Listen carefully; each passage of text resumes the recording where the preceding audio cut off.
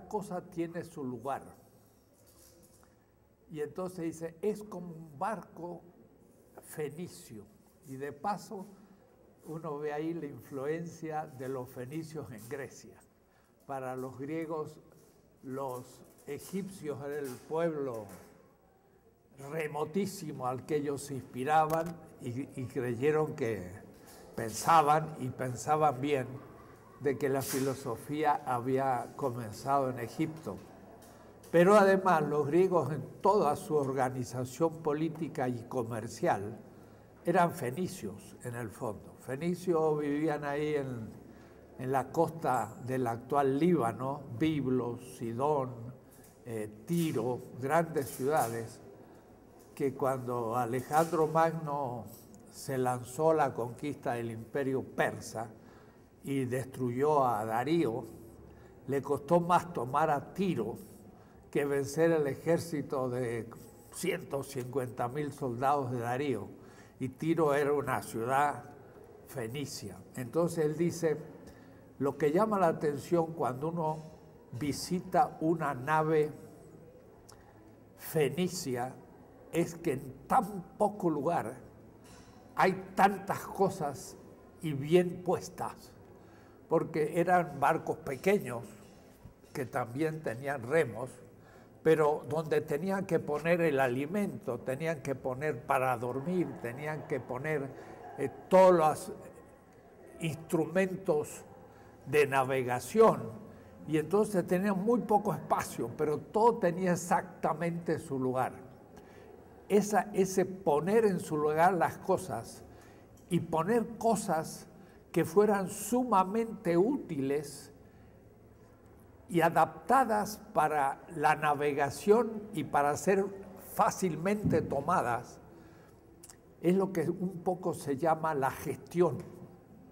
Gestión es cosas que se permiten controlar porque están puestas exactamente en su lugar. Y entonces más que, que el piloto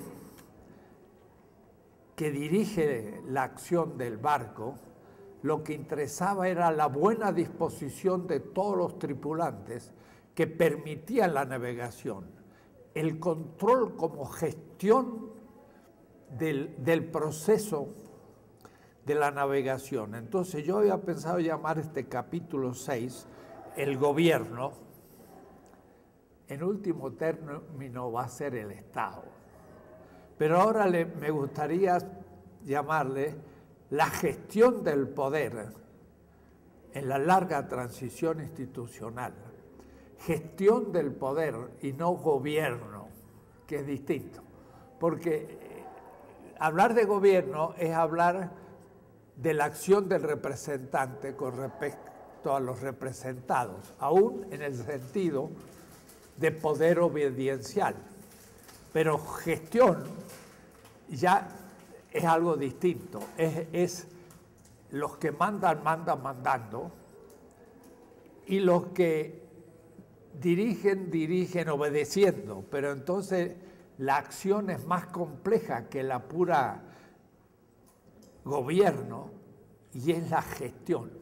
Entonces, el sexto capítulo era, ahora le voy a llamar, la gestión del poder en la larga transición institucional. Luego que el esclavo se libera, termina el proceso negativo, empieza la construcción del nuevo orden. Y eso sería una gestión comunitaria que va a exigir un, un largo proceso de creación de nuevas instituciones para llegar a tener un nuevo orden. Ese es el tema, ya se les he anunciado más de una vez, de la obrita, o no tan obrita, sino una obra larga de 500 páginas, aunque son pequeñas las páginas, con, con buena interlínea de una y media y tipos más bien legibles, pero de Agamben, que se llama El Reino y la Gloria, la genealogía de la economía y del gobierno. Es un libro realmente muy extraño y me ha llevado una lectura completa desde hace tiempo y ahora solamente quiero recordar dos o tres cosas para volver al tema. Agamben toma la hipótesis de Carl Schmitt y, este, quizás de una manera ejemplar, o decir, no conozco quizás otro trabajo tan grande, 500 páginas, para cumplir con esa idea de Carl Smith que dice, los grandes temas de la filosofía política se han originado en la teología. Entonces, lo que va a hacer Agamben es una larga investigación arqueológica. Ir a los comienzos, como la arqueología va a las grandes ruinas de una civilización, va al origen. Al origen de lo que llamaríamos gobiernos, y yo llamaría ahora ampliado gestión. Y esto se dice con la palabra economía. Economía no significa en griego simplemente lo que significa para nosotros. Es algo bastante distinto. Oikos, casa, nomos, ley. La ley de la casa. Pero no es eso. Es la gestión, en el sentido que estoy indicando, de la primer comunidad que los griegos toman para la descripción de la política, que es la familia, pero la familia ampliada, una familia que puede tener 40, 50, 70, 100 personas, porque es un pater familia libre, los hijos, la familia amplia, eh, con hermanos y mucha otra gente, pero también están los esclavos y están los obreros o los metecos que vienen a trabajar por jornal en la explotación de un campo porque el ciudadano es el que tiene una cierta propiedad de un terreno junto a la ciudad. Y entonces la familia es algo más amplio que para nosotros. La gestión de la familia era la economía. Y en cambio la gestión de la polis era la política. Y Aristóteles por eso empieza su política con un primer libro sobre la economía es quizás el primer librito en la cultura occidental, no en otras culturas porque también hubo, que trata el problema de la economía. Pero ese tema va a pasar después al pensamiento judeo-cristiano. Y entonces ahí cambia completamente la significación de la palabra. Y Agamben vuelve a tomar a Pablo de Tarso el cual habla de la economía de Dios. Pero sería algo así como la gestión, voy a llamar de lo sagrado, sobre la historia humana. ¿Cómo pensaban los griegos que se realizaba la historia? En realidad no había propiamente, lo muestra Paul Ricoeur, sentido historia entre los griegos lo que se contaba entre los griegos eran hechos concretos en la sucesión del tiempo. Pero la historia no tenía contenido porque en realidad había el eterno retorno de lo mismo y el ser humano al no tener la experiencia de la libertad estaba en manos del destino de los dioses. El destino era el ananque, lo necesario. Los dioses en el fondo reinaban, gestionaban el acontecer humano y el, ser humano no tenía la última palabra, sino al contrario, estaba manejado por los dioses. Y de ahí el destino trágico. Lo trágico es el hecho de que el ser humano sufre la voluntad a veces contradictoria e injusta de los dioses y que sin embargo el ser humano no puede sino cumplirlo. No hay un sentido de la historia todavía como muestra Paul Ricoeur en su libro La simbólica del mal, con el mito prometeico que está bajo el destino de aquel semidios que roba el fuego a los dioses, lo cual es un acto de institución de la humanidad, porque es la inteligencia que se la quita a los dioses, pero los dioses en vez de, diríamos así, hacer de Prometeo un héroe en bien de la humanidad, lo castiga por este robo y, el, y el, castigo es eterno. Y, Prometeo no puede evadirse de ese castigo. Tal manera que no hay historia, no hay sentido de la historia, aunque haya acontecimientos. Entonces pueden contar la nábasis, el modo como los griegos llegaron al imperio persa y volvieron. Se pueden contar hechos, pero esos hechos no son determinantes acerca del el ser humano como tal. Miren ahora entonces la hipótesis. La hipótesis es que concibiendo a la divinidad ya no como la que tiene la gestión absoluta del quehacer humano de manera necesaria, sino concibiendo a la divinidad como libre primero, pero al mismo tiempo no contradictoria, o es decir, como bondad. Y al ser humano como libre, ahora se plantea el tema de cómo el destino que ese Dios pueda tener sobre la humanidad se cumpla. ¿Por qué? Porque siendo el ser humano libre, podría destruir el plan que ese Dios tuvo sobre la humanidad. Entonces, eh, el tema es el que definido de otra manera la divinidad y también el ser humano como libre, y entonces ahí la importancia del mito adámico.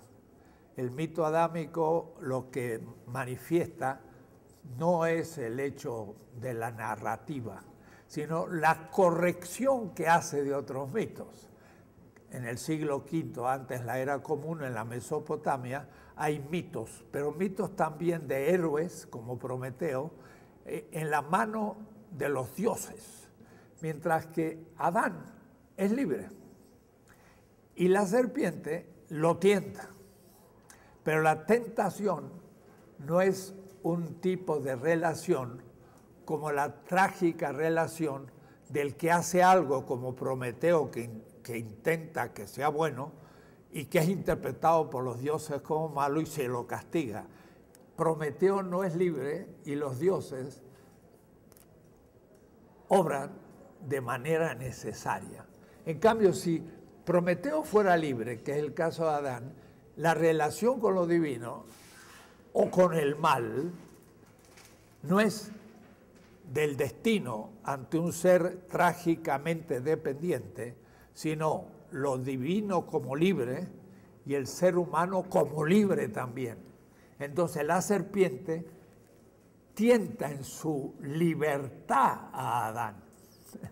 Y ahí entonces hay un nuevo tipo de problema, porque entonces el, el plan que Dios pudiera tener sobre la humanidad puede fracasar. Y puede fracasar porque el ser humano, si es libre, puede cometer el mal. Y ese es el caso de la serpiente que tienta. Y si, y si hace el mal, hace fracasar el plan que Dios tiene en la humanidad pero entonces ahora, ¿cómo interviene para corregir el efecto negativo que un acto libre cumple en la historia? ¿Cómo va a intervenir? Obligando al ser humano a cumplir su plan, le quita la libertad. Permitiendo que pueda cumplir el mal y ser libre, fracasa su plan. Es un dilema. Y es un dilema que en el fondo va a recorrer todo el libro y va a llegar hasta, hasta Malebranche. Y, el pensamiento moderno, Pascal, y podemos decir que llega hasta hoy, porque entonces, ¿cómo interviene en la historia ese ser libre ante un ser libre? Y ese es el tema, para mí, del mesianismo en Walter Benjamin. O es decir, ¿cómo puede y como filósofo no lo afirmo, sino que como filósofo constato su posible existencia que produce en su aceptación una cierta concepción de la historia. Lo digo con respecto a Dios, que nunca lo he tratado y tampoco nunca he intentado demostrar filosóficamente su existencia. Digo simplemente, en la cultura judeocristiana y occidental se plantea este tema. Y ese tema va a estar detrás de la política. No se tome como que yo ya asumo ese tipo de Dios. Pero lo que sí asumo es el tipo de antropología que ese tipo de Dios instaura. Lo que sí creo que se puede afirmar filosóficamente, que somos libres. Pero cuidado, el propio Kant, y en esto Kant tiene su, su vigencia. Kant tiene cuatro ideas que no pueden ser objetos de conocimiento. Lo que es objeto de conocimiento son los conceptos o los objetos constituidos por conceptos. Las cosas del mundo, los fenómenos internos de la subjetividad,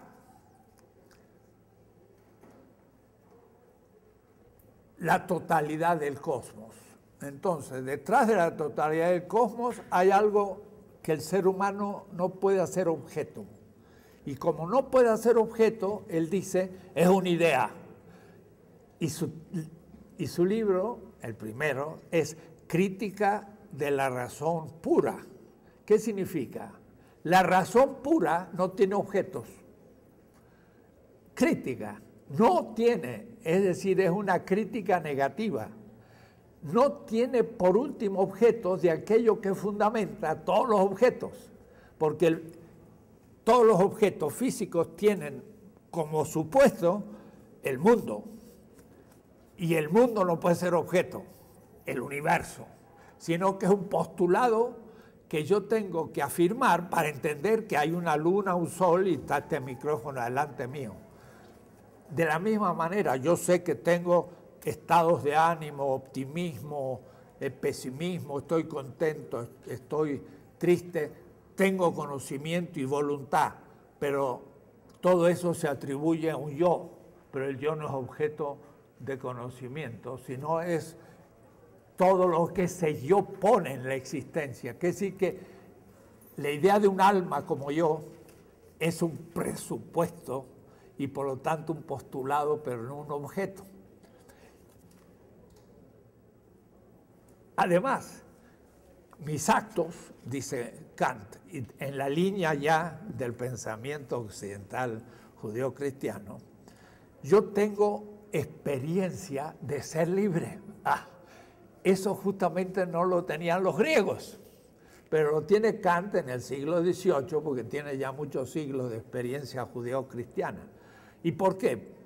Porque yo me doy cuenta que las cosas que hago no las hago obligatoriamente por naturaleza, sino que, usé la palabra obligatoriamente, eh, lo usé mal, eh, las cosas que hago no las hago por necesidad, sino las hago por obligación. Y obligación supone que puedo no hacer lo que me obliga. ¿Por qué? Porque soy libre ante la ley y no simplemente una ley natural que no puedo no cumplir. En cierta manera, Prometeo no tenía la experiencia de la obligatoriedad, sino tenía la experiencia de que el ser humano al fin, aunque es espontáneo, actúa por necesidad ante el destino de los dioses. Y por eso que Kant dice también que de la libertad no tengo conocimiento objetivo. La libertad no puede ser objeto de conocimiento, sino que la libertad es una idea que yo postulo para poder explicar todos los fenómenos morales.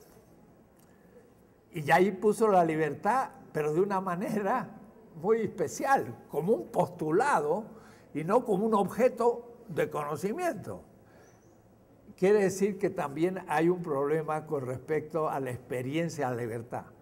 Y pone por último a Dios como el horizonte de todos los postulados, del mundo, del yo y de la libertad. Y entonces dice, es necesario postular un Dios para que todo lo demás sea posible. Es decir, también admite como punto de partida un creacionismo, pero no se lo propone demostrar su existencia, sino que avanza un postulado para explicar el sentido de los otros postulados.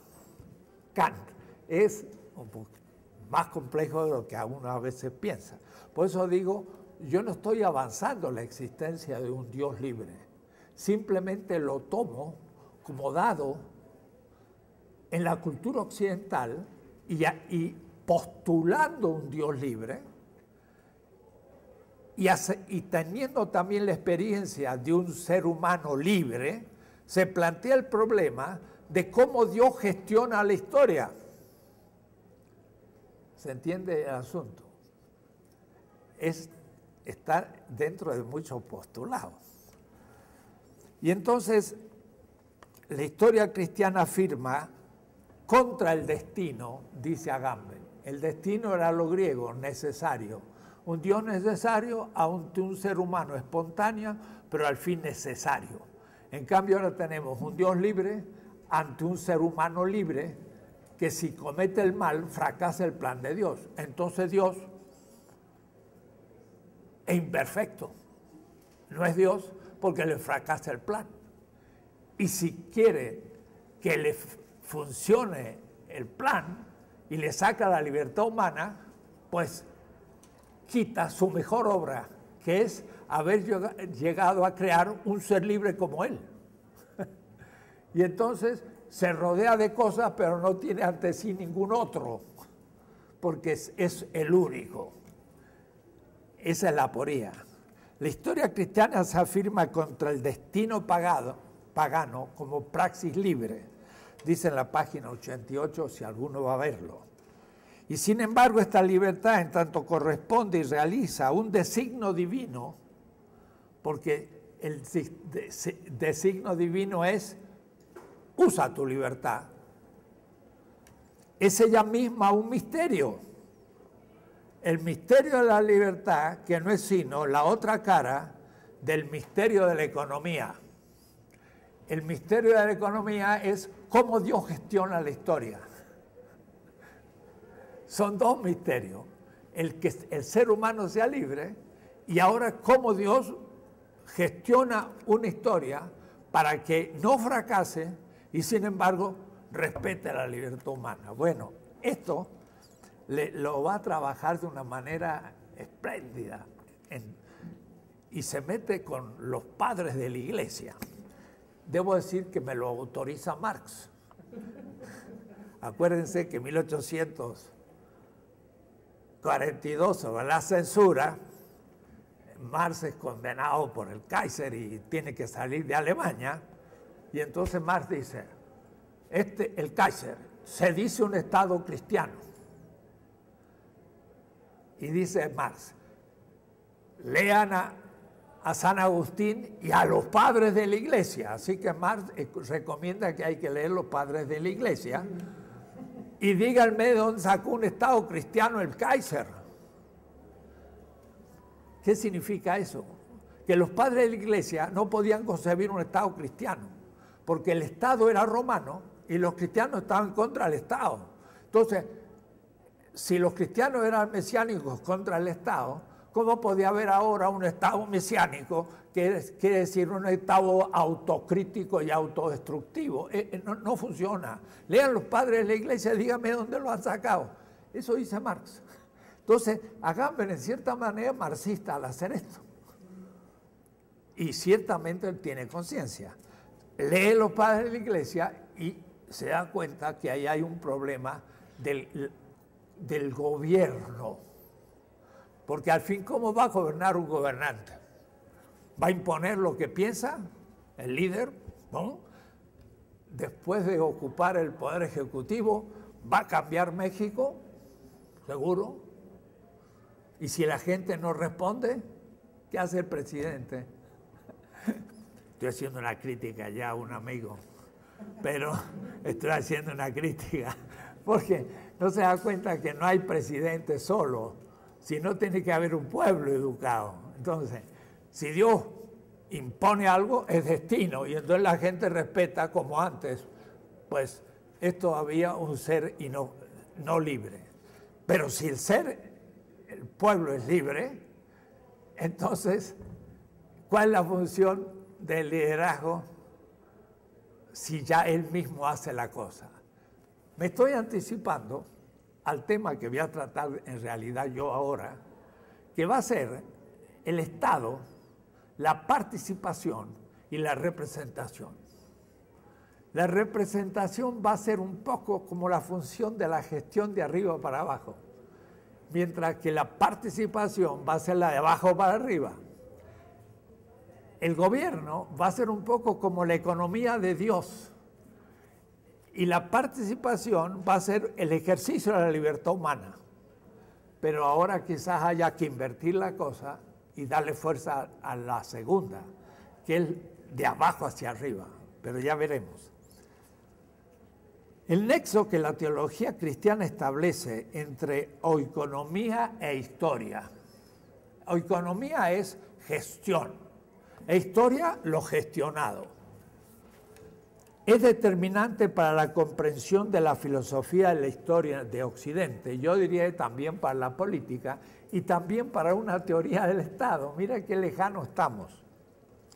Se puede decir, en particular, que la concepción de la historia en el idealismo alemán, por ejemplo, en Hegel hasta Schelling y aún en Feuerbach, no es sino el intento de pensar el nexo económico entre el proceso de la revelación divina y la historia. Y no solo la revelación, la gestión de la historia. Porque en Hegel y, en el idealismo alemán es Dios que se revela en la historia. en los términos de Schelle que hemos citado, es la copertenencia entre la teología por parte de Dios y la economía como. Es curioso que cuando la izquierda hegeliana rompe con la concepción teológica, va a ser un poco la ilustración, una izquierda que ya no va a saber nada de teología, solo puede hacerlo a condición de poner en el centro del proceso histórico la economía en el sentido moderno ahora. Marx mismo, el capital, la economía. Es decir, la autoproducción histórica del hombre. Y en este, y Marx dice, esa es la producción misma, el ser humano como productor, pero productor también de la humanidad. En este sentido, ella sustituye la economía divina por una economía puramente humana.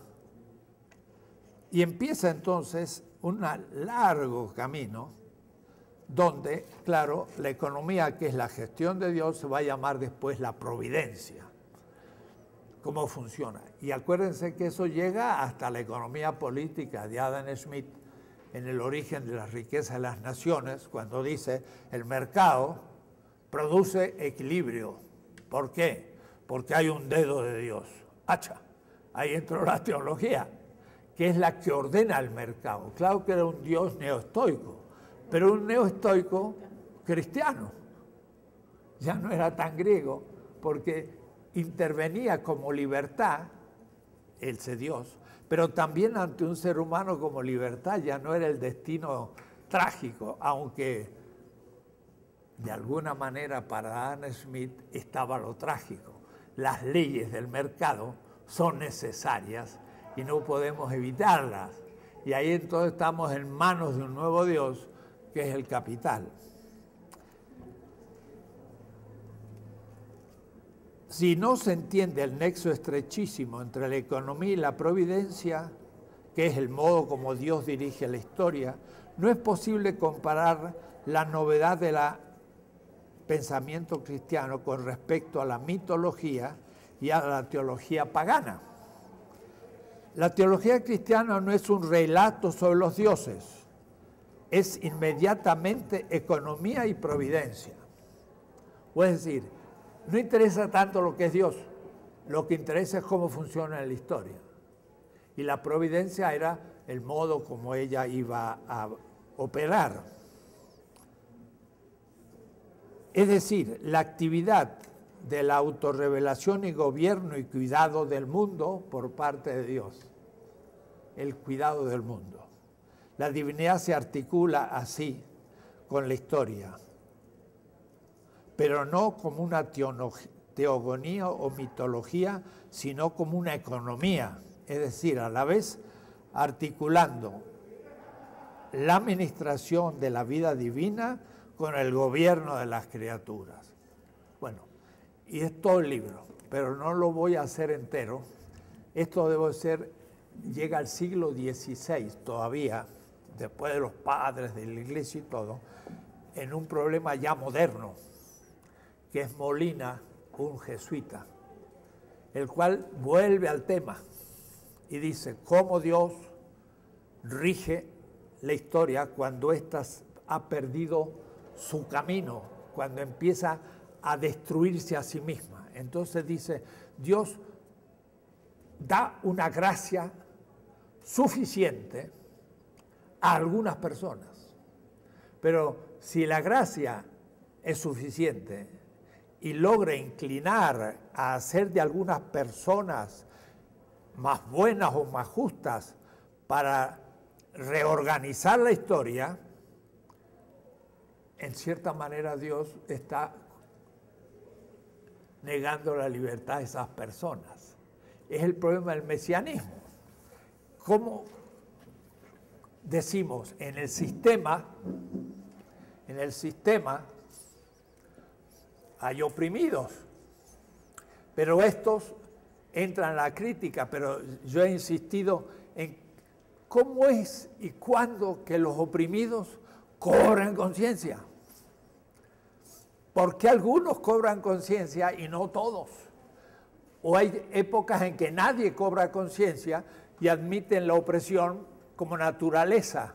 O es decir, que algunos son los que irrumpen. Bueno, eso es justamente el sentido del Mesías de, Benjamín. Por una puerta se cola el Mesías. O es decir, alguien que irrumpe en la historia cambiando. Entonces Molina, sin pensar en el Mesías ni en Walter Benjamin, dice, este recibe una gracia suficiente de parte de Dios. Pero si es suficiente para cambiarlo, ha torcido su libertad. Y entonces eh, volvemos a ver una presencia de Dios que viola la libertad. Después de Molina va a pasar a Malebranche, ya estamos ante filósofos, pero Malebranche se plantea exactamente el mismo problema y dice, hay causas primeras, que son las naturales, en donde Dios opera, miren qué cosa, Dios opera interviniendo como ley natural. Y esto era la posición de los mustasilitas en la Bagdad del siglo X, filósofos árabes que decían, no es que en realidad el sol salga, digo yo, no es en verdad que el sol se ve de nuevo cada día por una ley cósmica, sino que Dios repite su querer que el Dios salga. Y lo que llamamos repetición de leyes naturales es la constante voluntad de Dios creadora. Quiere decir que si cae algo, no es porque hay una ley de la gravedad, sino porque Dios decide que caiga la cosa y lo hace siempre. Y eso, esa decisión puntual, repetitiva de Dios, me aparece a mí como una ley natural. Pero si un día Dios no lo hace, pues eso es un milagro que el, lápiz no cayó, pero entonces fue simplemente Dios que no intervino. Eso le llama Malebranche causas ocasionales. Y al hablar de Malebranche, ya estoy hablando de un filósofo moderno que estudiamos en la Facultad de Filosofía, que, viene después de Descartes, Malebranche y después viene Kant. Pero este hombre se sigue planteando la misma problemática y, y Kant, en cierta manera, también, al no hacer de la voluntad, de la libertad, un objeto. Quiere decir entonces que este tipo de temática llega hasta nosotros. Y tenemos que entender. Este es el, es el tema del mesianismo. El momento uno era el establecimiento del orden. Dos es la intervención correctiva de la fetichización del sistema. Claro, esto es justamente el momento en que a la visión judeocristiana se corrige el mal. El, el sistema se, se absolutiza, el capitalismo. Como dice Marx, la acumulación originaria es lo que los teólogos llaman el pecado original. O es decir, más que eso, el, el, capital es el modo del pecado original hoy, para Marx. Claro, metafóricamente. Pero de todas maneras, el sistema dado se ha arruinado el plan de Dios. Entonces, ¿cómo corregirlo? Por la intervención crítica negativa. Y entonces la revolución o el cambio va a corregir la obra y va a ser un nuevo sistema más mejor que el anterior o correctivo por un tiempo, hasta que este mismo vuelva a cerrarse sobre sí. Entonces, podríamos decir, la solución secularizada del problema de la economía es justamente los cambios históricos y la instauración de nuevos regímenes históricos. El tema tradicional ahora ya hecho propiamente política, pero eso no, no fue planteado ni en el pensamiento griego, ni en el pensamiento hindú, ni en el chino. Habría que ver qué nos pasa en América hispana, o mejor dicho, los pueblos originarios, si tienen algo semejante. Pero por de pronto, la temática que ahora planteamos en filosofía política tiene un origen teológico, como lo había pensado Carl Smith y lo expone a Gamben.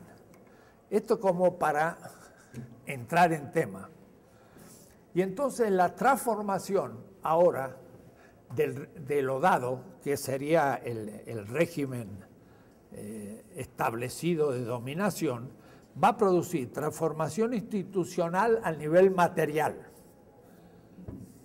una transformación a nivel formal y una transformación a nivel de la factibilidad.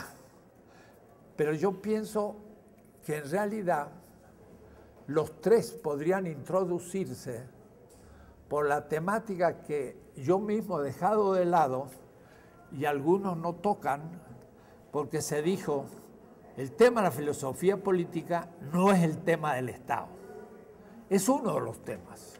Y yo lo tomé como punto de partida para descubrir muchos otros temas que el Estado.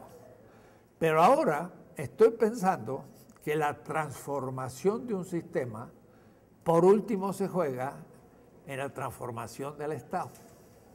Entonces voy a tener que cambiar el orden y la tesis que decía transformación institucional, ecológica, etcétera, voy a pasar en primer lugar transformación del Estado y la mutación de la sociedad civil.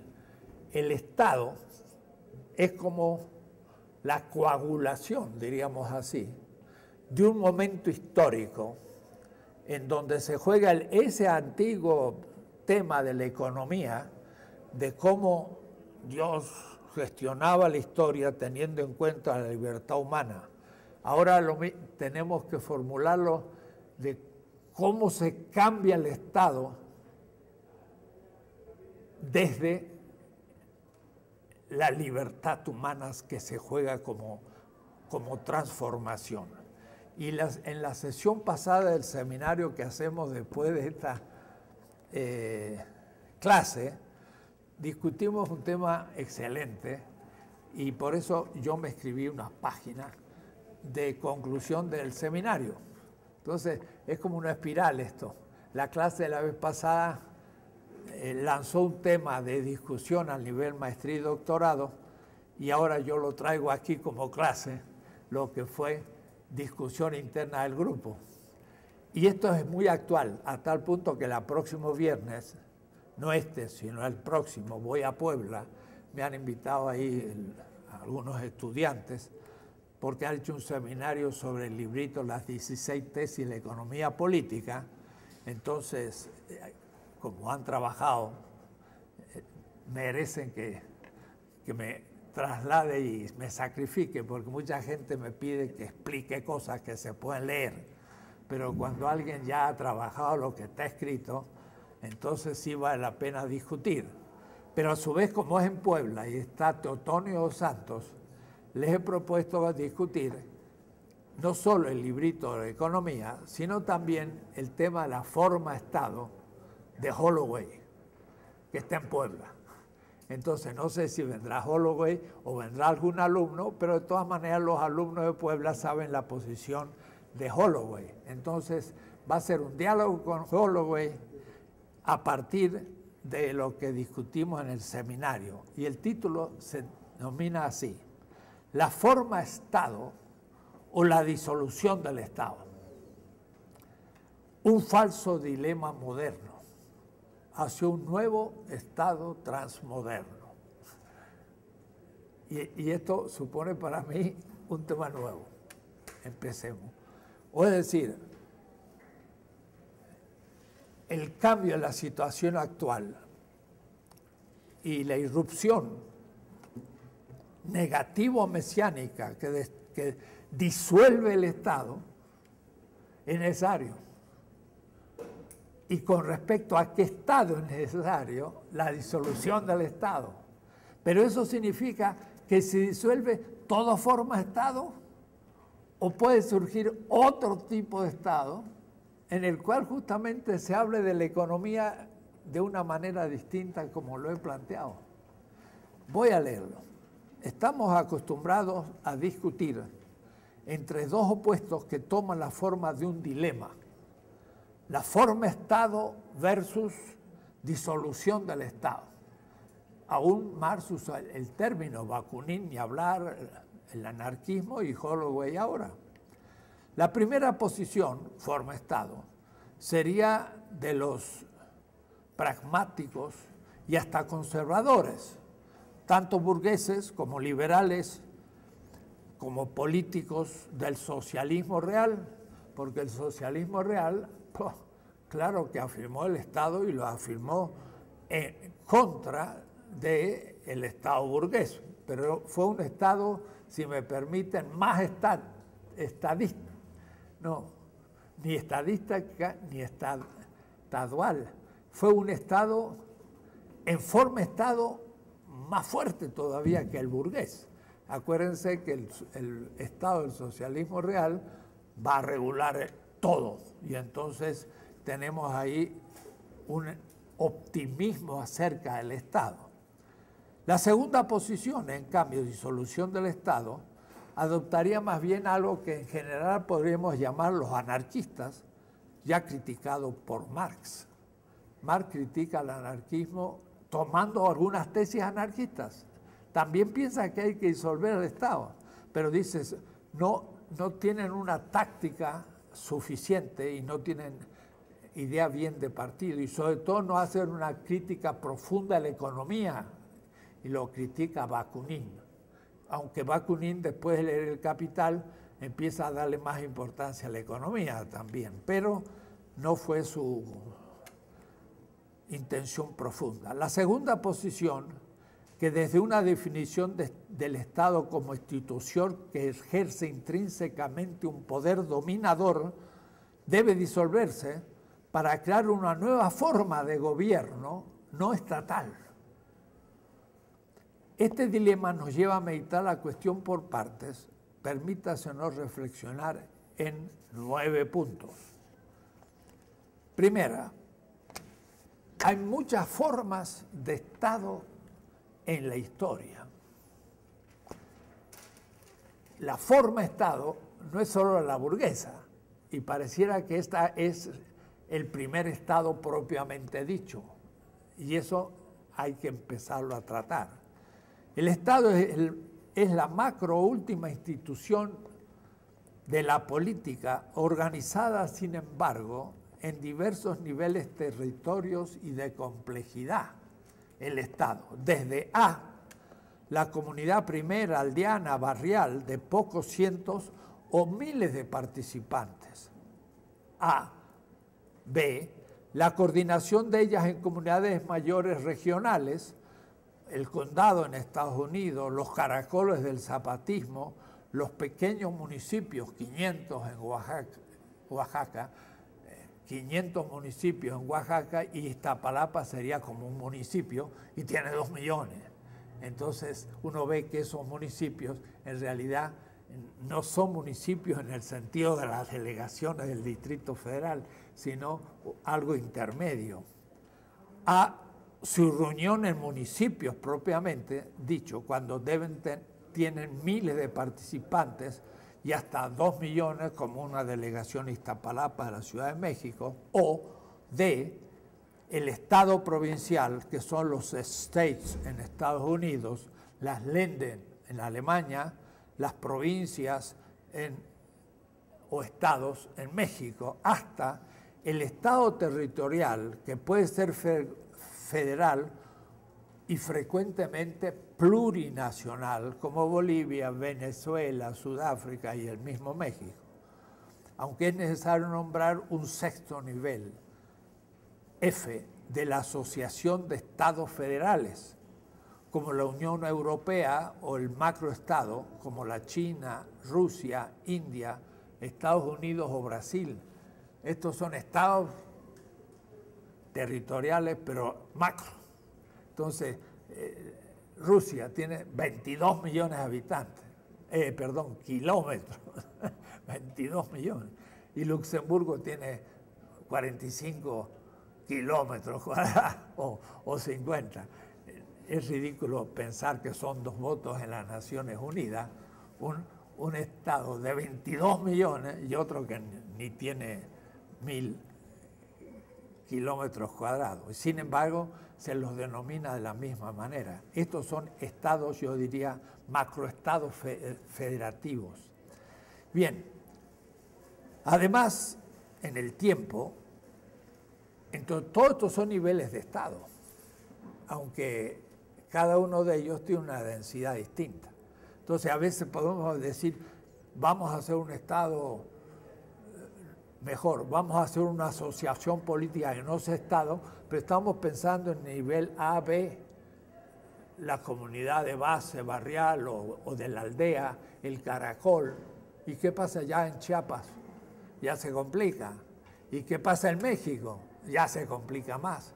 Y, y se puede gobernar, etc.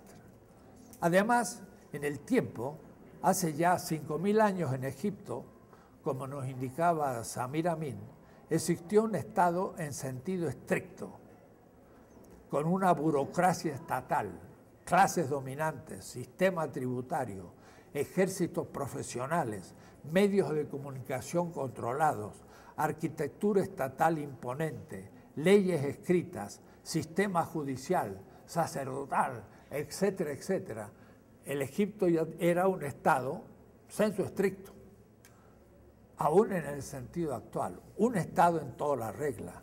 Lo mismo puede decir de otros estados, como el imperio persa, los helenísticos, sino que su... El Estado moderno se origina lentamente desde el ocaso de los regímenes monárquicos feudales de la mal llamada Edad Media. Como la nueva edad, la modernidad, irá naciendo paso a paso al ir venciendo el muro islámico otomano. Por ello los primeros estados modernos fueron Portugal y España, contra la opinión de muchos. Se abrieron al Atlántico Oriental, Atlántico Oriental, haciéndose presente en las costas del África por Portugal y conquistando el Atlántico ecuatorial hasta sus costas occidentales, llegando a América Latina, con España. El cansamiento clandestino de Isabel de Castilla y Fernández de Aragón en 1469, esto me hizo ir al internet a ver bien la fecha, me había ya olvidado, y, me pareció que era por los 80, pero no, era en 1469, es bien antiguo, dio el fundamento del primer Estado moderno europeo e hizo toda la península ibérica un Estado que homogeneizó por primera vez la calidad de ciudadanos bajo la determinación de ser, todos los ciudadanos tenían que ser iguales, en tanto que, en tanto creyentes católicos. Esa fue la primera tintura que hizo que todos fueran ciudadanos, porque surgía de la Edad Media y entonces calificativo de cristiano católico era lo que los unía, expulsando en primer lugar de este, por esta, de este Estado por la Inquisición, que realmente era un aparato ideológico de Estado, a los mozárabes, o decir, a los islámicos y a los judíos.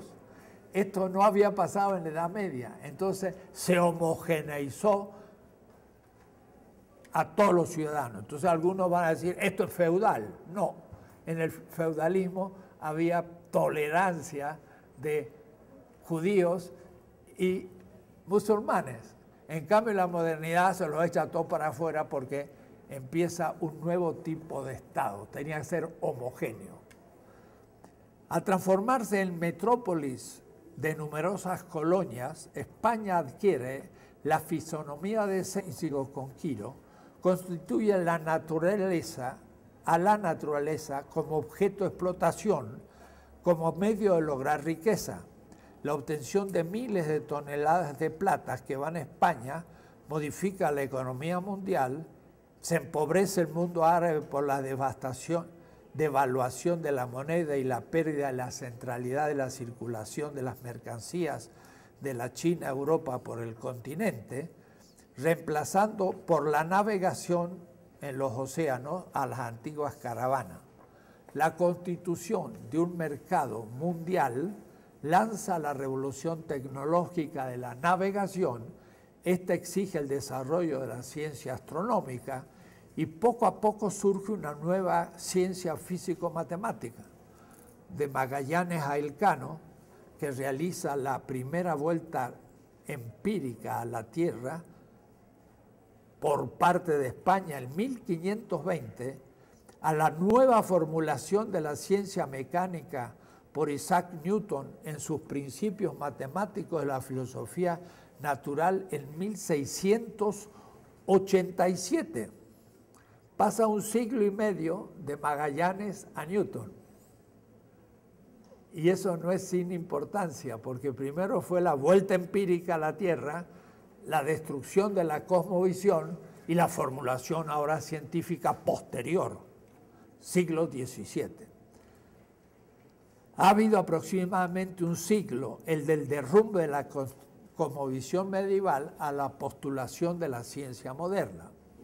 En política, el ego conquiro práctico de Hernán Cortés, antecedido en 1492 por el yo descubro de Cristóbal Colón, negando con ello la tarea instauradora de un mundo humano originario que descubrió milenios antes al continente, descubrieron los indígenas, se ha transformado en un ego cogito ontológico en Descartes, con, en 1637, un siglo y tanto después de Colón. Un paso más toma Hobbes en De en 1642, partirá del ego individual que enfrenta a muerte otro ego, del individualismo metafísico moderno, que para evitar la extinción de la especie llega al pacto que instaura la sociedad política. La forma Estado moderna tiene ya sus características propias, pero no será la forma Estado humana en general, sino la forma Estado moderna, un Estado muy particular con el que nos enfrentamos hoy. Esta fue la idea que lanzó en el seminario Juan José, que para mí fue repetir lo que ya tenía pensado, pero no explícitamente. El Estado del que hablamos hoy es un Estado moderno. ¿Y por qué? Porque hay otros Estados modernos que están en competencia con el Estado moderno burgués. Con la Revolución Inglesa de 1688 de Cromwell, nace el Parlamento orquestado por la naciente burguesía capitalista, conservando elementos de la monarquía, con un rey decorativo, y de la nobleza, con la Cámara de los Lords. Quiere decir que todavía es un estado como mixto, y sin embargo sobrevive hasta hoy. Elementos de la monarquía y elementos del feudalismo. Una cuasi democracia representativa, restringida, que imita en parte al Estado de Venecia.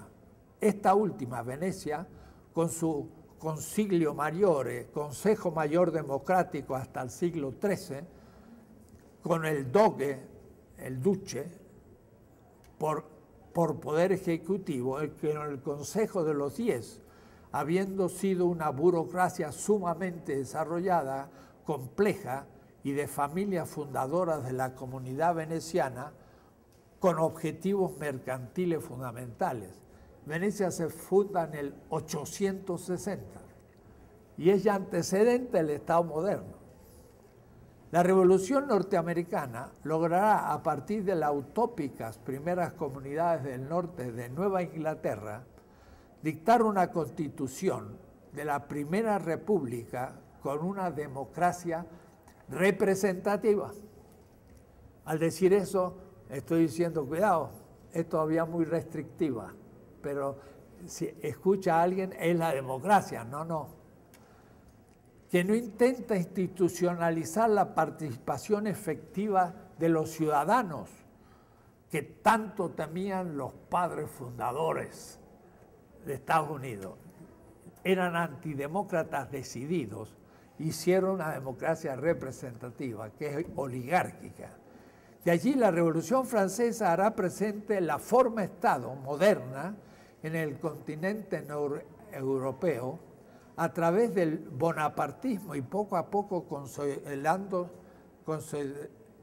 consolidándose sin nunca institucionalizar la participación ciudadana. Nunca hubo más en la base de democracia directa. Es esta forma Estado moderna que con John Locke logrará tener ya una descripción inicial de lo que será la corriente liberal de la democracia representativa, individualista, contractualista, hegemónica, que constituye dicha forma Estado. Está claro que los gestores de este modo de ser Estado tan distinto de los modos antecesores de la formulación, siempre a fin de estar al servicio del capital de la clase burguesa, para poder fundar jurídica y políticamente el capitalismo, se hace efectivo. Desde el individualismo competitivo, la definición fundamental del derecho natural a la propiedad privada, a la herencia, a la legalidad e instauración de la competencia del mercado dentro de las normas constitucionales que se edifican, identifican con el concepto mismo político de libertad, que se enarbola como el valor supremo de la sociedad. La libertad de prensa, que termina por ser el derecho de la burguesía en la expansión del capital sea como información regulada, como propaganda, o del aparente respeto a la opinión pública, que termina por ser producción de una opinión pública favorable a la burguesía y a los candidatos. Tres, la forma Estado liberal de democracia representativa es una forma de las posibles e históricamente hegemónica en la actualidad. Entonces, cuando dicen forma Estado, digo, un momentito, estamos hablando de esto y no de otra cosa.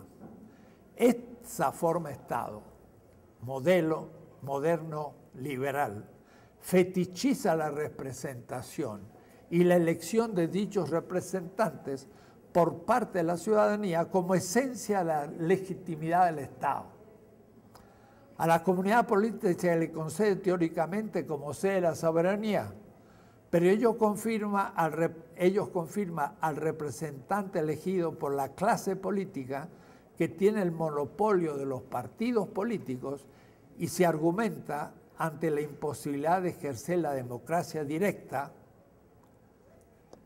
que es necesaria la representación y los partidos políticos son los que representan a dichos los que presentan a dichos candidatos a elecciones por la semejanza ideológica de los propuestos a ser elegidos con grupos afines del pueblo. Pero todo, todos deben poseer un mínimo, un overlapping consensus, diría John Locke, eh, Rawls. Todos tienen que tener algo de semejante, overlapping consensus, aceptando las mismas reglas.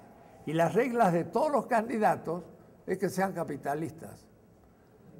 es decir, acordando que el indicado capitalismo es el sistema económico que se avanza como sinónimo de la naturaleza misma de las cosas, en lo que John Rawls llama teoría de la justicia. Dice, todos tenemos derecho a ser diferentes, pero en algo tenemos que coincidir.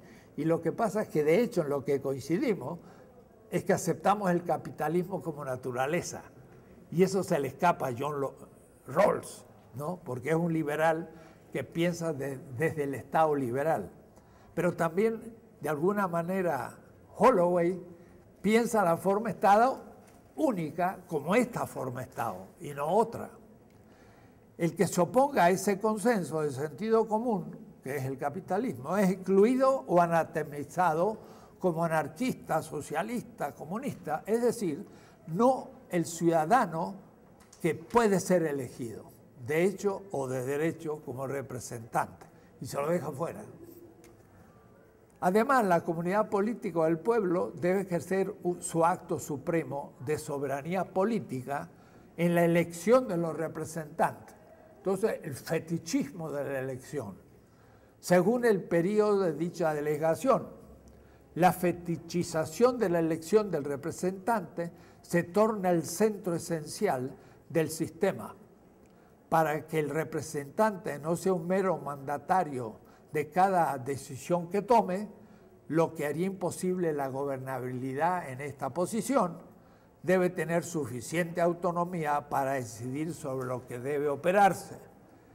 El momento de juzgar si hizo o no lo que debía se posterga en el tiempo hasta el próximo periodo de elecciones cuando se deba escoger nuevamente el representante para reelegirlo o elegir a otro miembro del mismo partido. Mientras tanto, la soberanía del pueblo queda pasiva inactiva, silenciosa. Esta concepción de la representación ha llevado a que la misma se corrompa, ya que la clase política monopoliza de hecho el ejercicio del poder y el pueblo se transforma cada vez más en un espectador pasivo. Eso lleva a la crisis de la representación en todo el mundo, también en Europa y en Estados Unidos.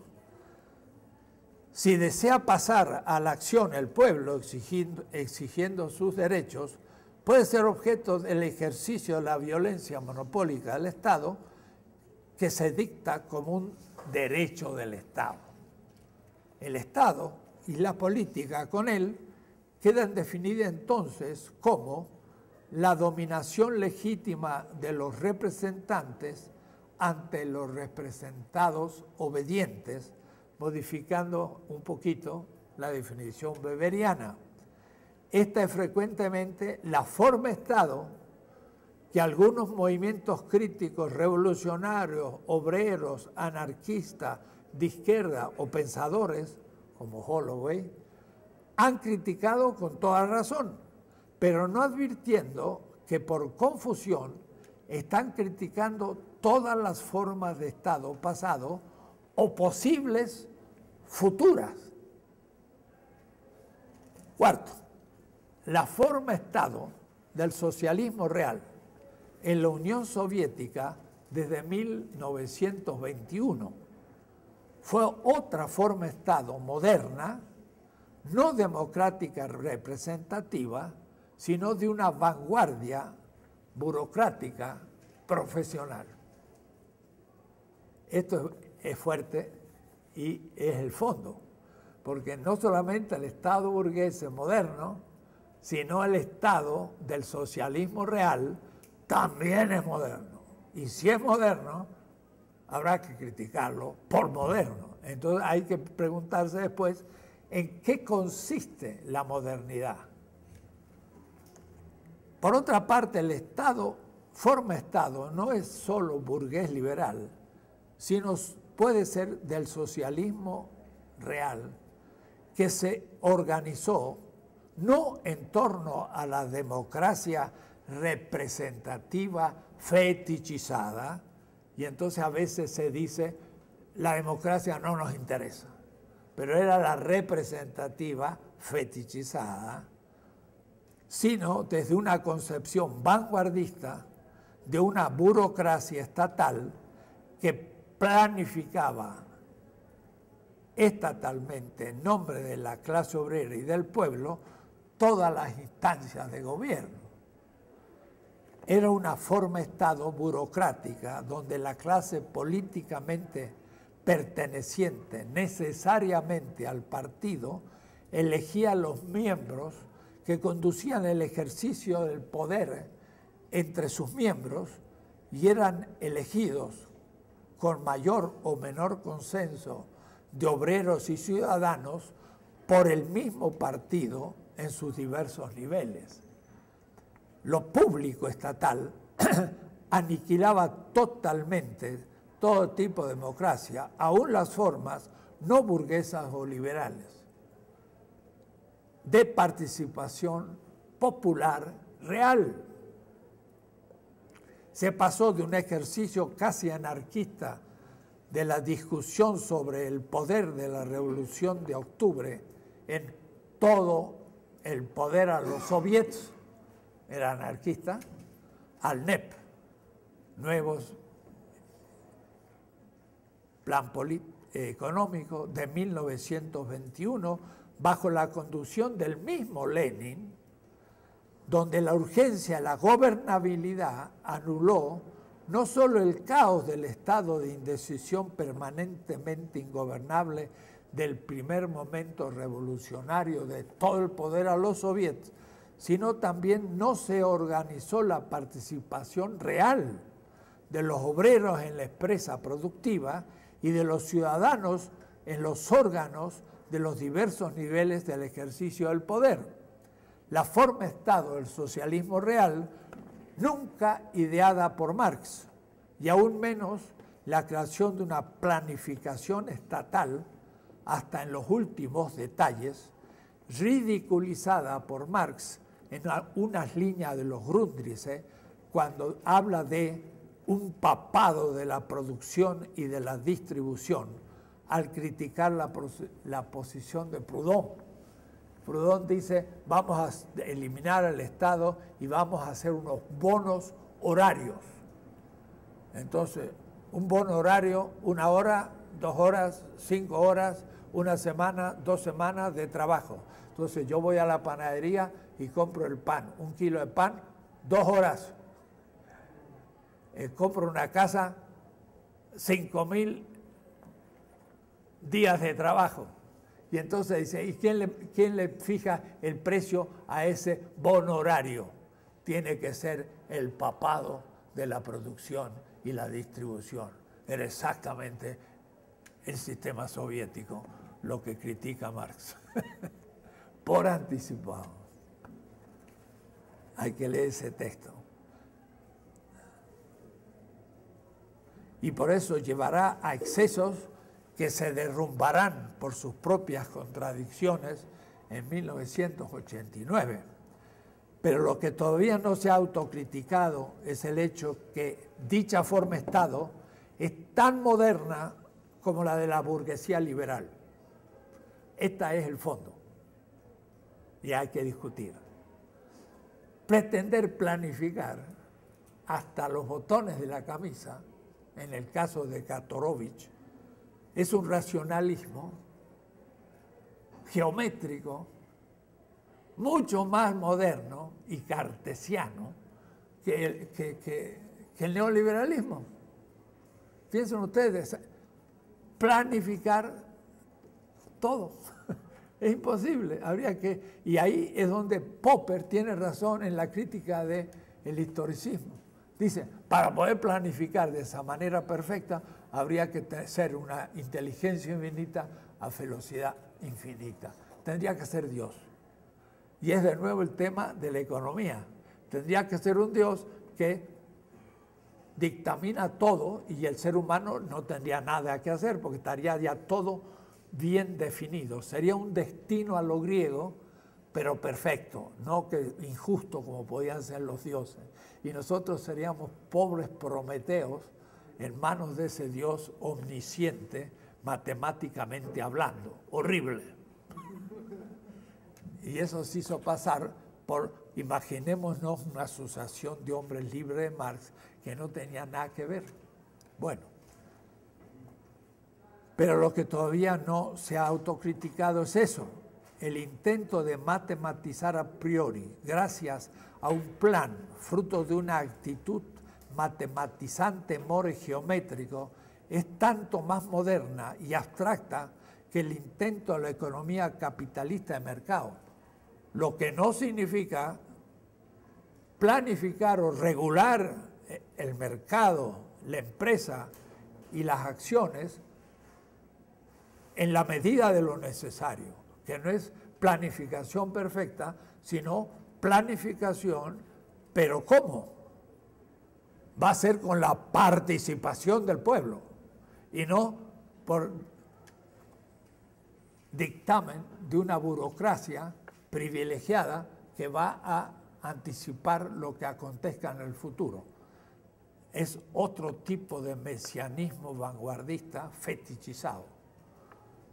Si la competencia perfecta del mercado es imposible, Franz Hinkelamer lo muestra, es igualmente imposible la planificación perfecta y Franz Hinkelamer lo critica en un capítulo en la crítica a la razón utópica y hace una crítica de Kantorovich y la pretensión de la planificación perfecta, lo que no significa que es, posible y necesario una planificación imperfecta, pero a ver, pero ¿cómo se gestiona esa planificación? Vamos a hablar de eso. Y si el mercado no puede, desde sus propias leyes, producir equidad entre precio y necesidades sin una regulación correctiva de la comunidad, no digo del Estado, tampoco la planificación burocrática de las estructuras estatales puede cumplir con la infinita complejidad de los miembros de la comunidad en sus que son los que deben planificar socialmente las exigencias económicas por participación adecuadamente institucionalizada, de eso hablaré después. El estado del socialismo real que se derrumba en 1989 fue moderno y tuvo las limitaciones de la modernidad. Eso es la tesis. Y me pareció novedoso lo que dijo Juan José. No lo había pensado. y pensándolo así, la cosa es novedosa. Debe ser superado en una época que venga después de la modernidad, transmoderna, igualmente que el sistema económico capitalista y la forma Estado del socialismo real y de la burguesía, que Marx nunca propuso de manera concreta en el enfrentamiento con la cuestión campesina en la Unión Soviética. Y en el tema de la Oshina, Marx, ante la Sazulich y la comunidad campesina rusa, Marx explícitamente indicó que podía ser el punto de partida para organizar el socialismo sin pasar por el capitalismo.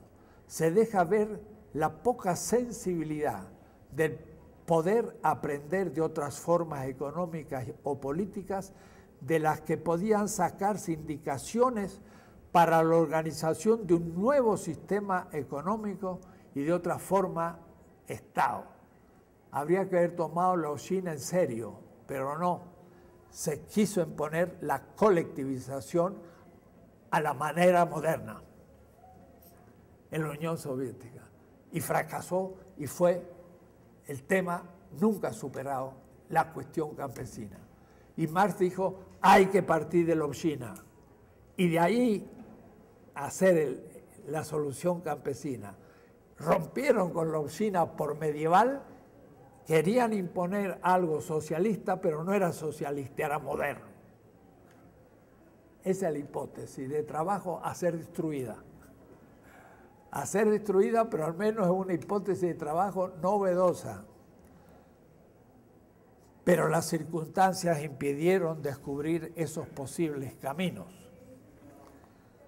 Cinco, el anarquismo contiene igualmente elementos teóricos de la modernidad.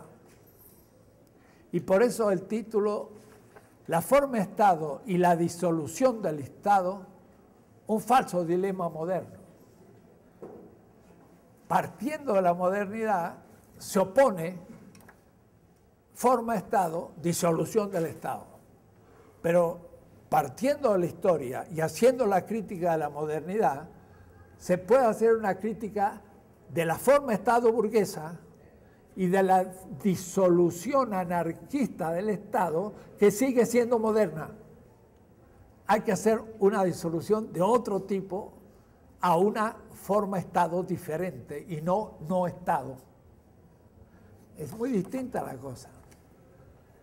Nos dice García Morión el anarquismo, en un libro que se llama Del socialismo utópico al anarquismo, se diferencia a las demás corrientes socialistas por una especial énfasis en la crítica al Estado, ¿de acuerdo? Y por la defensa de la libertad individual. Me paro ahí. Ese es el tema.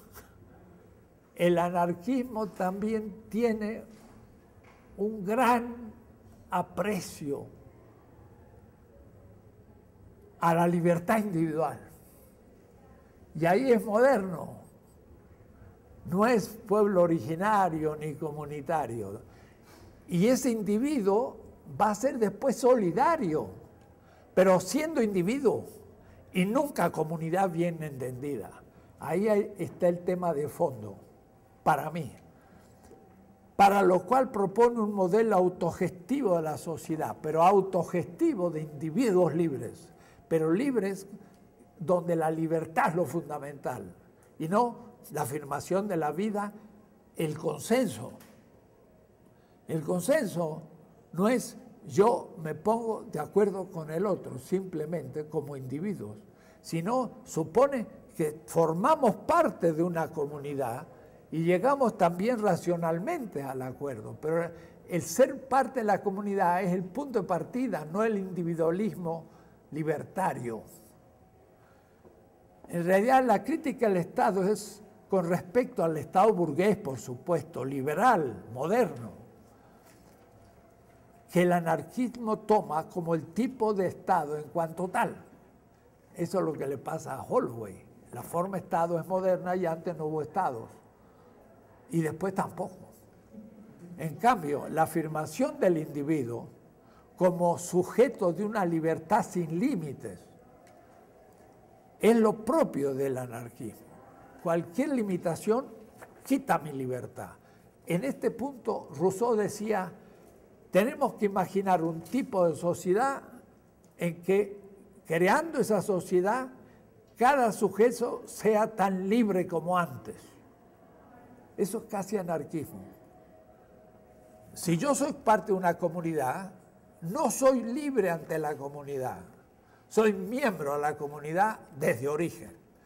Y cuando organizo una institución, claro que no soy tan libre como antes porque tengo responsabilidades.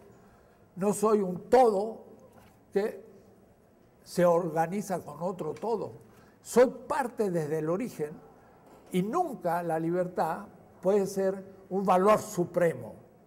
El supremo es la comunidad, la comunidad, comunalidad y no tanto la libertad. La libertad también. Hemos visto que desde el Agamben el problema es lo sagrado libre y el ser humano libre, pero ese libre es comunitario. En cambio, la afirmación del individuo como sujeto de una libertad sin límites, lo propio del anarquismo, que entre otros autores toma de Max Stirner. Y ahí hay que estudiar a Max Stirner. Hay un profesor de la UACM ha hecho una tesis sobre Max Stirner, muy buena, pero se ve muy bien la posición de Stirner. Stirner es un post-hegeliano, con Feuerbach, Engels, Marx, eh, Savigny, todos estos que estaban en Berlín y que escucharon a Schelling y que, que criticaron a Hegel como Kierkegaard. Entonces, ante la universalidad de la historia de Hegel, Stirner dice, hay que salvar el individuo. Lo que realmente importa es cada uno. Y esto hoy, hoy, hoy, 2015 se está imponiendo como una filosofía fundamental en Europa. Hay que salvar el individuo, ¿no?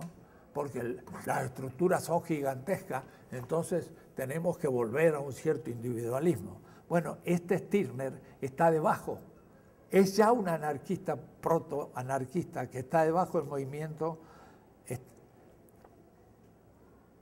Muchos autores toman de Stirner eh, en su obra clásica el anti-hegeliana El único, de Einzel. Eh, Hegel habla de la singularidad, la particularidad y la universalidad, los tres grados. Y la, la singularidad se dice die Einzige, es el nombre del libro de, de, el único o mejor, el singular, que ni es Besonderheit, no es particularidad ni universalidad. Soy yo, que soy por último el único existente.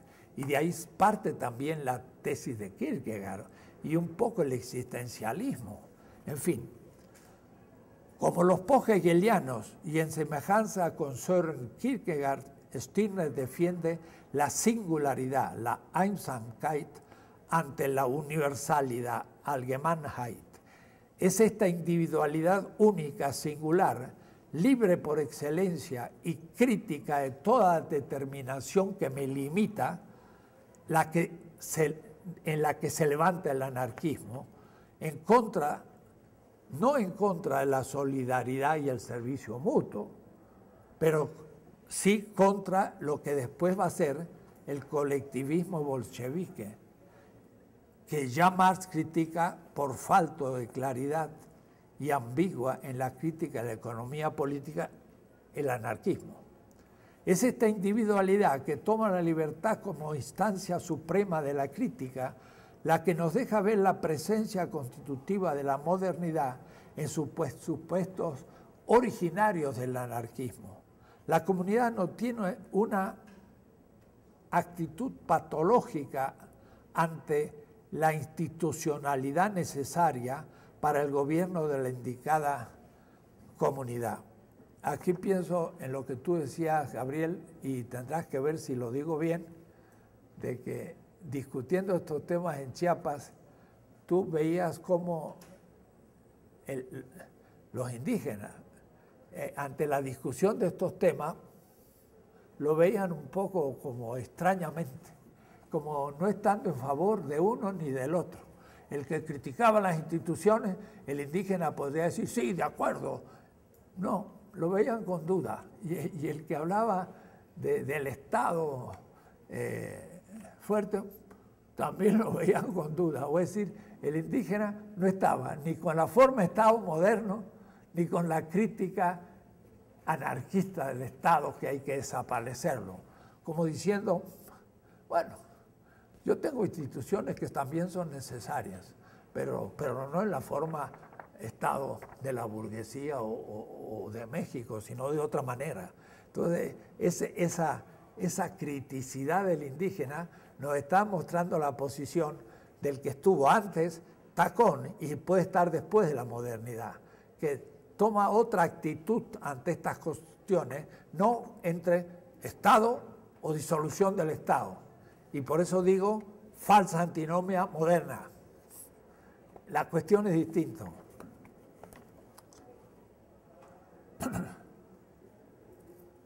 La comunidad no tiene una actitud patológica ante la institucionalidad necesaria para el gobierno de la comunidad. Tiene una posición de sentido común desde la comunidad y, el gobierno se articula como bajo la potestad de la primera. La que manda es la comunidad, manda mandando. Y la que obedece es la representación elegida para que sirva y no para que se define como sede del ejercicio del poder. Deben mandar obedeciendo. Pero el mandar obedeciendo es la representación. Pero el que realmente manda, mandando, es el pueblo. Y eso no como individuo libre y que hace de la libertad un nuevo Dios, sino como alguien que como comunidad exige libertad, pero como comunidad. Entonces, esto estoy planteando como hipótesis de reflexión, no como conclusión. Es verdad que intentan instituciones solidarias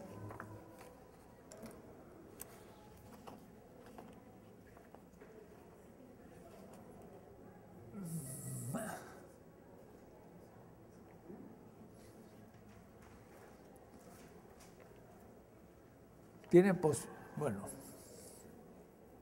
la comunidad no tiene una actitud patológica ante la institucionalidad, tiene una posición de sentido común desde la comunidad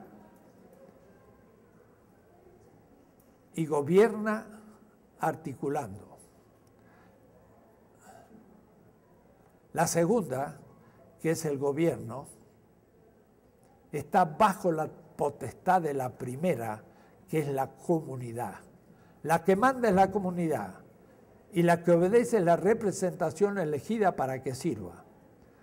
Esta concepción de la institucionalidad no es aceptada por el anarquismo, sino como un mal menor y no alcanza nunca una formulación con factibilidad suficiente. Es decir, cómo se logra organizar instituciones hasta llegar al Estado federal, territorial, de 110 millones se piensa siempre en cooperativas y en, tipos de gobierno rotativo y demás, pero eso no es posible llevarlo a cabo porque también se necesita la profesionalidad de gente que pueda cumplir algunas instituciones como servicio, pero necesarias en su competencia, que sean competentes. Es verdad que se intenta instituciones solidarias en el anarquismo, por supuesto, sindicales y políticas en base a la democracia directa con gestión compartida y propiedad común, como por ejemplo las cooperativas, pero al fin no se puede proponer una institucionalidad que deje intocable al individuo libre por excelencia. La disciplina institucional se confunde con la dominación del Estado, siempre, pero el Estado burgués como único. El dilema forma-Estado y disolución del Estado está atrapado dentro del horizonte moderno y eurocéntrico. Esto sería lo fuerte. O es decir, estamos discutiendo a veces dentro del horizonte eurocéntrico. Debe indicarse lo, lo acertado de la forma, disolución del Estado y tiene sentido en momentos revolucionarios y con respecto a la forma Estado moderna, burguesa, institucional, en los procesos de liberación. Muy por el contrario, indica solamente la transición a otro tipo de Estado tras la disolución de una forma histórica de Estado, ya entrópica, superada por las exigencias históricas, a otra forma igualmente histórica. Entonces, el tema del capítulo 6 es la transición a ese nuevo tipo de Estado. Pero hemos bosquejado que no tiene que ser moderno, pero tiene que ser Estado. Pero tras la disolución. El momento 2 es el momento de la disolución del Estado. Hay disolución del Estado.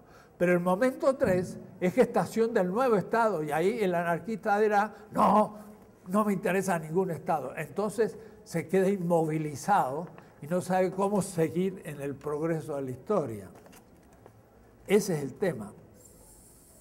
Muy por el contrario, indica solamente la transición a otro Estado tras la disolución de una forma histórica de Estado ya entrópica. Por ello, la antinomia radical, forma Estado burgués versus disolución del Estado, presentada por un cierto anarquismo, es un dilema planteado dentro del horizonte de la modernidad. Otros pueblos, otras culturas, otros tipos de estados no se encuentran enmarcados en este dilema. La cuestión es de fondo en la discusión actual y sobre todo el nuevo estado que debemos imaginar y ya empezar a practicar no debe encontrarse en ese dilema. O es decir, no se le puede pedir a Evo Morales que disuelva el Estado, porque está ya en la construcción del nuevo Estado. Y si en la construcción del nuevo Estado disuelve, ¿qué hace? ¿Vuelve a qué? A decir, desarmamos el Estado de, de Bolivia. Y ahora, ¿qué hacemos? Todo el poder a los soviets a discutir qué vamos a hacer. Y después vamos a tener que decidir algo. Y lo que decidamos va a ser un nuevo Estado. O lo vamos a disolver de nuevo. Y entonces no es posible la política ni nada. Es un idealismo moralista.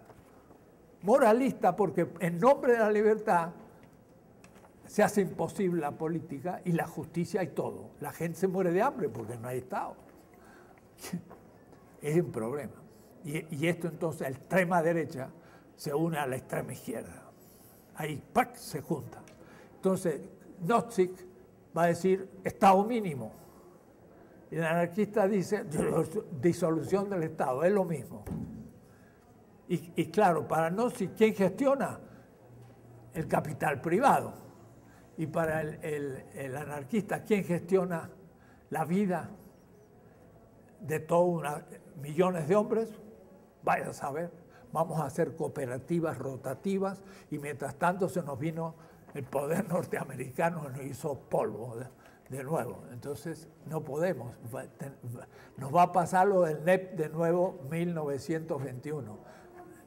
paramos la, la discusión y un grupo privilegiado nos plantea un nuevo tipo de Estado y se lo saca de la manga y no por discusión popular hay que entonces crear las condiciones de la creación del nuevo Estado por participación, que nunca ha habido.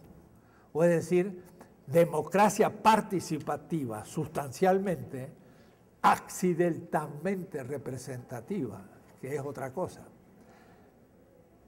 Pareciera que una cierta izquierda, influenciada por la ilustración, la gran ideología del capitalismo, llegado a su madurez por la revolución industrial, queda atrapada en el horizonte económico del indicado capitalismo y del republicanismo o liberalismo político burgués. La izquierda es crítica de una posición práctica y teórica desde otra posición ciertamente más progresista, pero desde el mismo horizonte ontológico, ético y político moderno y eurocéntrico. Séptimo, la pregunta consiste en cómo definir el nuevo horizonte originario de una concepción de Estado que, trascienda la forma Estado moderna. No burguesa ni socialismo real, moderna.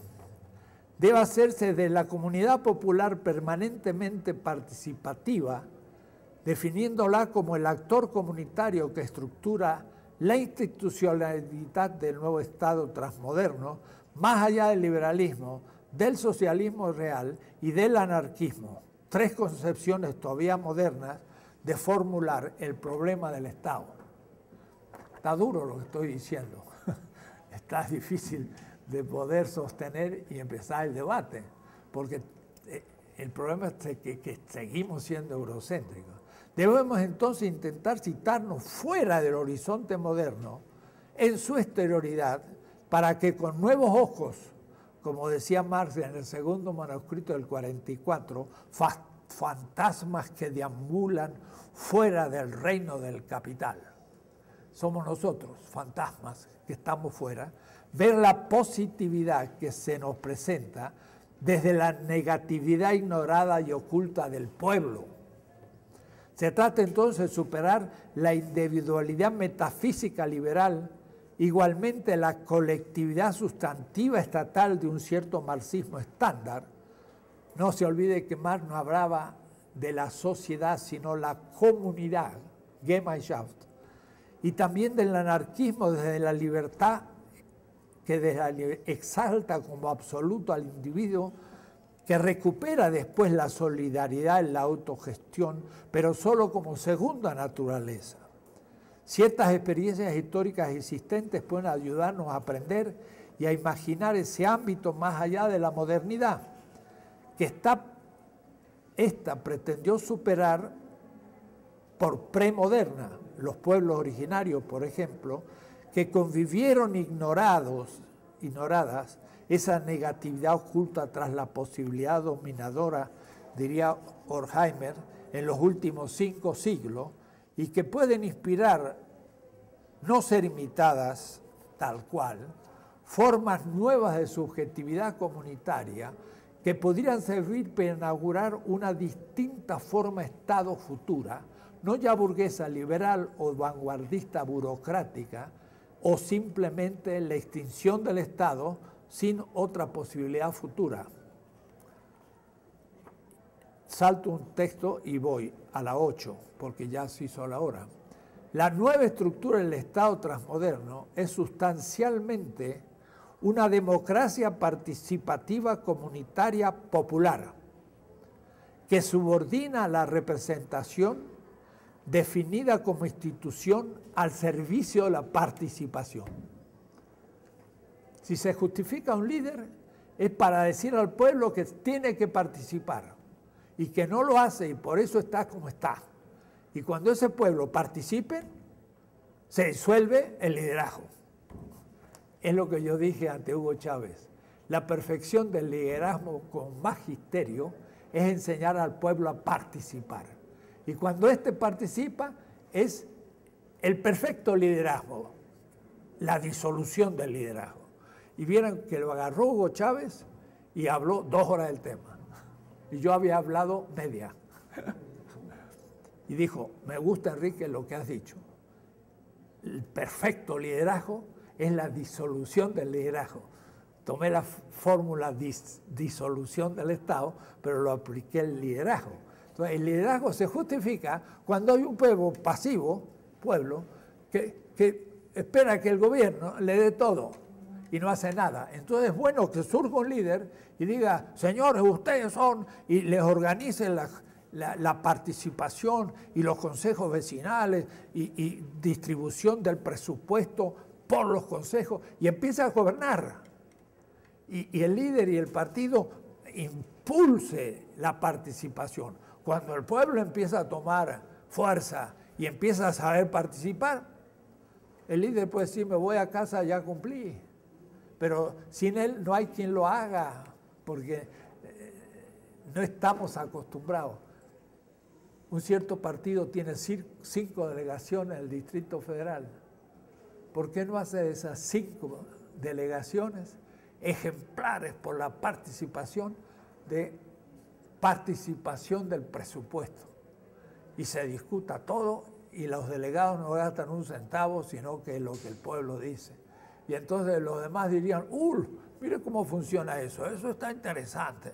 Y eso sería electoralero. Pero querer hacer propaganda para de ahí sacar candidatos, eso está en lo mismo de siempre, el Estado representativo electoral, maquinaria electoral que no sirve para nada y no es nada nuevo. Eso se está debatiendo. Así que además es hoy, noviembre de 2015. La nueva estructura. La comunidad política, el pueblo es la única sede del poder, no el Estado, que es su macro institución al servicio. La delegación relativa, nunca absoluta, del ejercicio del poder a los representantes, nunca aliena el poder del pueblo. Por ello, los representantes vigilados y castigados, tomo la formulación de Foucault, vigilar y castigar, vigilados y castigados en su caso por la participación institucionalizada. Hay que crear todo un aparato institucional de la participación, tan grande o más que la representación que llegue hasta la revocación del mandato del representante,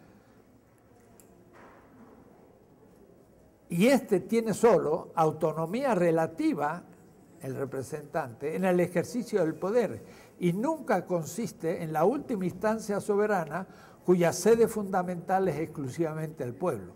Por su parte, el pueblo conserva permanentemente en el tiempo, de manera activa e institucional, el ejercicio del poder en última instancia. Hay que crear instituciones, consejos vecinales, los caracoles, coordinación de consejos, por democracia directa del pueblo mismo, sin profesionales de la política y sin partidos. Y estos que lleguen al municipio, y estos llegan al Estado y llegan al nivel territorial. Eso se llama poder ciudadano en la Constitución de Venezuela un cuarto poder, que vigila el poder legislativo, ejecutivo y nombra a los jueces. Todo un tipo de Estado distinto hay que pensar. En este caso la democracia no sería meramente representativa, sino estrictamente participativa, orientando y subordinando continuamente a la representación, que son el presidente municipal, los diputados, los senadores, los jueces, el presidente, todo eso es representación. Tiene que estar bajo el mando de las instituciones participativas. Esto permite definir una nueva manera del ejercicio permanente activo del poder soberano del pueblo, que cada semana puede ir a la asamblea de su barrio y no esperar seis años para ver si elige el, el mismo u otro. Y mientras tanto fue un poder pasivo y eso es la crisis de la representación. Termino. Se trata entonces de una institucionalización sui generis en que la comunidad delega el poder solo relativamente, guardando sin embargo siempre la facultad inalienable de ser la sede del poder. La comunidad investida de este poder la denominaremos la potencia activa ahora, no potencia como en mi tesis de política, sino activa, no pasiva ni virtual, que permanece atenta todos los días por medio de una participación institucionalizada del poder ciudadano. El poder ciudadano, que es un cuarto poder, no recibe delegadamente el poder, sino que lo ejerce, y es el único poder que lo ejerce, en nombre propio. No manda obedeciendo, sino que manda mandando, ya que es el poder del pueblo mismo. Y ahí entonces hay que empezar a pensar eh, en eso. Estamos en la transición de una forma Estado distinta. Pero si la forma Estado, por definición, es, corrupta, como piensa Holloway, no hay salida. O entramos a la ingobernabilidad, porque sin Estado, institucionalmente, ¿cómo vamos a operar? Por la espontaneidad coincidente de los ciudadanos o por instituciones que no son profesionales, y que no pueden guardar en el tiempo coherencia. En fin, todo eso es el tema del capítulo 6, la gestión del poder en la larga transición institucional más allá de la forma Estado moderna. Eso hasta el miércoles pasado no lo tenía claro. Avanza. Y no quiero decir que la tenga del todo claro tampoco, pero la tengo un poquito más clara.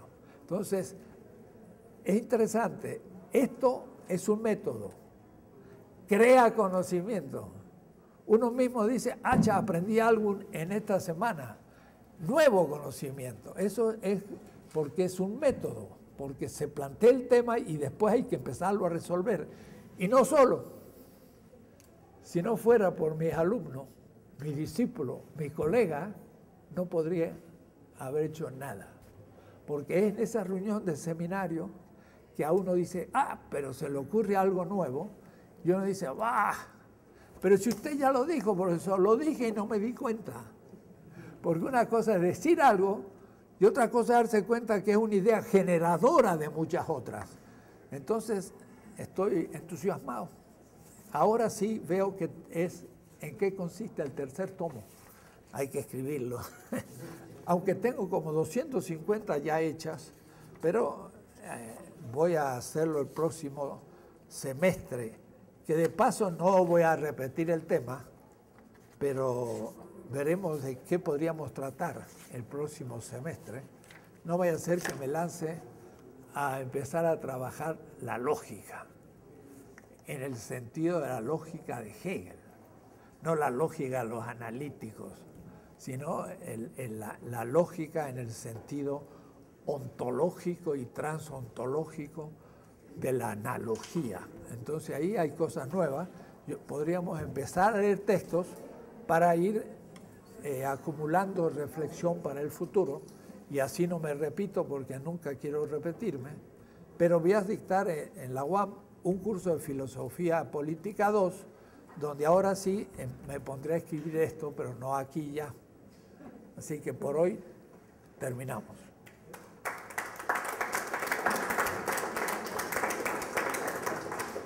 Y la próxima semana.